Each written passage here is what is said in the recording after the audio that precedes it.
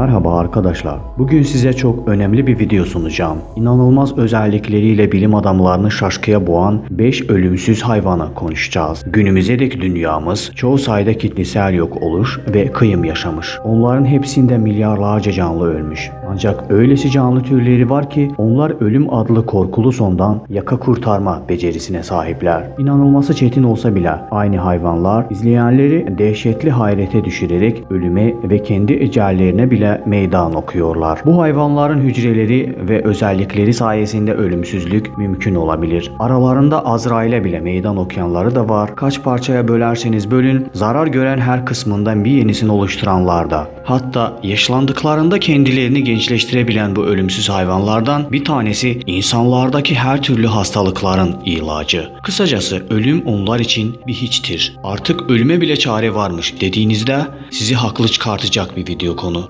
Böylece beni de sıralamayla hangisinden başlamama tereddüde zorlayan tüm bilimcileri şaşkıya boğan ölümsüz canlılar.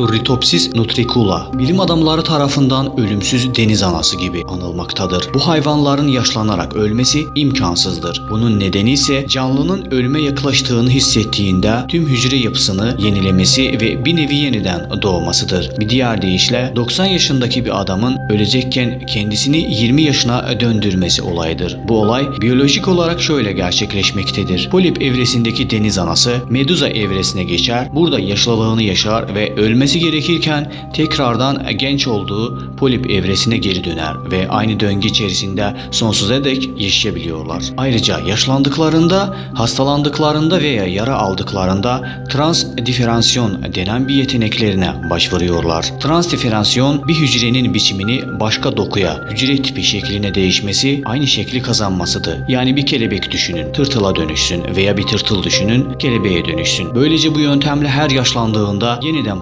programlanarak kendisini yenileme fırsatı bulur. Aynı yöntem tekrar edilebilir.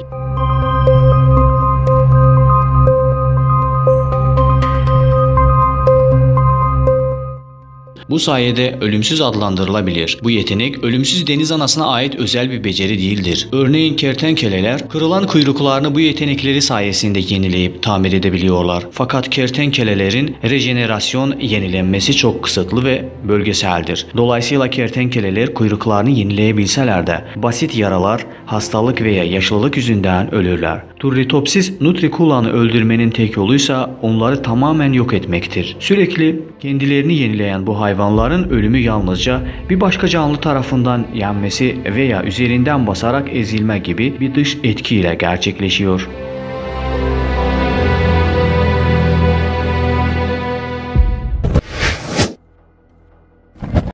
Aksolot veya semenderler. Onlar kaplan semenderi sınıfına aitler. Temsil ettiği grubun diğer üyelerinin aksine aksolotlar kendine yabancılaşma geçiremediğinden tüm yaşamını suda sürdürmektedir. Semenderlerin en büyük özellikleri ise kendilerini inanılmaz hızlı şekilde yenileyebilmeleridir. Bu hızlıca kendi yenilenme süreci bilimin odağı olmuştur. Herhangi bir organını hastalanma veya yaralanma gibi diğer nedenlerden dolayı zarar gören vücut parçalarını kısa sürede üreterek yenileyebiliyorlar. Onlar rejenerasyona en iyi örnek olan kertenkele veya deniz yıldızlarından bile daha hızlı yenilenmeye sahipler. İlginçtir ki hatta bir aksolotun beyninin bir parçasını kesip atarsanız bile aynı bölümünü kolaylıkla kazanarak yeniden üretebiliyorlar. Bu nedenden dolayı aksolotlar diriliş, canlanma rejenerasyonunun efendisi olarak biliniyorlar.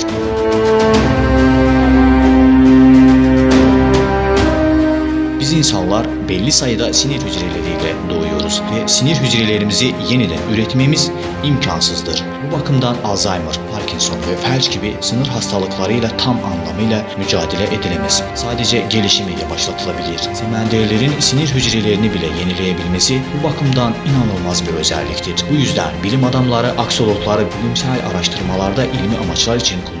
Çünkü bu canlılar sayesinde yalnızca sinir hastalıkları değil, tüm hastalıkları yenebiliriz. Aksolotlar bu özelliğiyle tıp dünyasında en çok araştırma yapılan canlılardan biri olmuşlardır.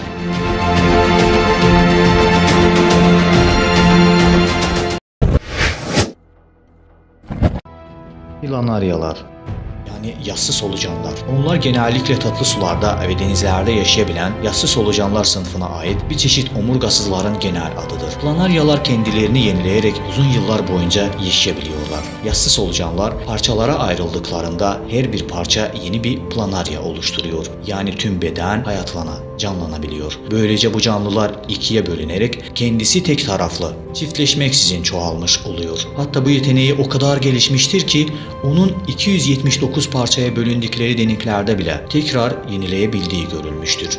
Bunlar yalnız bir diğer canlıya yem olarak veya yıkılarak öldürülebilir.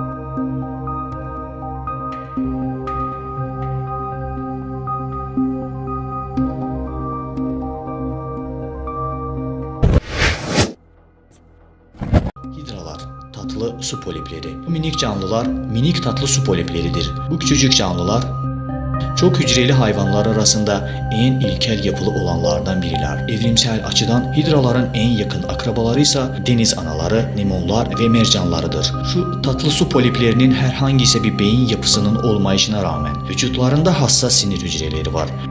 Bu nedenden dolayı küresel çağda bazı bilim adamları hidraların sinir sistemlerinin bu kilit noktada olduğunu düşünüyorlar. Ayrıca su poliplerinin olağanüstü öz yenilenme yetenekleri var. Onları kaç parçaya bölerseniz bölün her kısmından yeni bir hidra oluşacak. Hidralar ya bir diğer canlıya yem olarak ya da hastalanarak yaşamlarını yitirerler. Yani kendi ölümleri sadece dış etkenlerle olmaktadır. Böylece bir videonun da sonuna geldik. Kim bilir bilim adamları bu canlıların genetik biyolojik inceliklerini çözebilirlerse belki de gelecekte insan ölümsüzlüğü hayvanlar üzerinden gerçekleşebilir. Umarım abone olmayı unutmamışsınızdır. Ben Arzu Sayadoğlu.